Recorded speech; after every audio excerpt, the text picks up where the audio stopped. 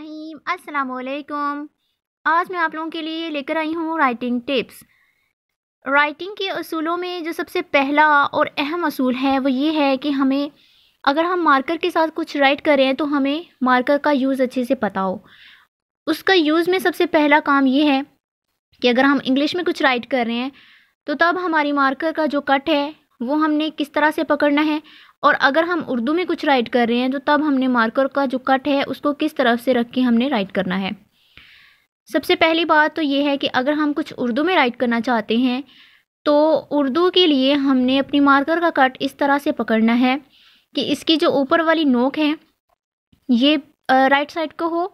और अगर हमने कुछ इंग्लिश में राइट करना है तो हमारी मार्कर का जो कट है, इसकी जो नोक है, वो लेफ़्ट साइड को हो।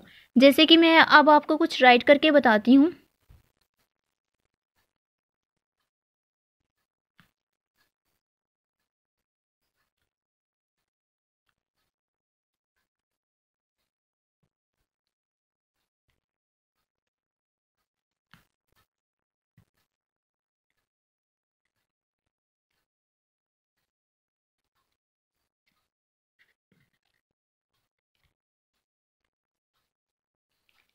आपने देखा कि मैंने जो मार्कर का कट है, वो लेफ़्ट साइड को रखा है और कहीं पे उसकी नोक यूज़ कर रही हूँ तो कहीं पे पूरा कट लगा रही हूँ।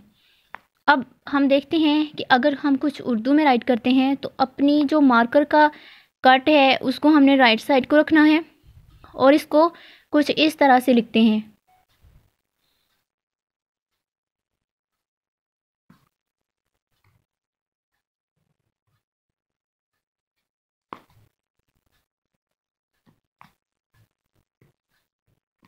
जैसे कि मैं कोई भी वर्ड राइट करती हूँ तो इसको हम ऐसे राइट करेंगे। इसका जो कट है, उसको हम राइट साइड को रखेंगे।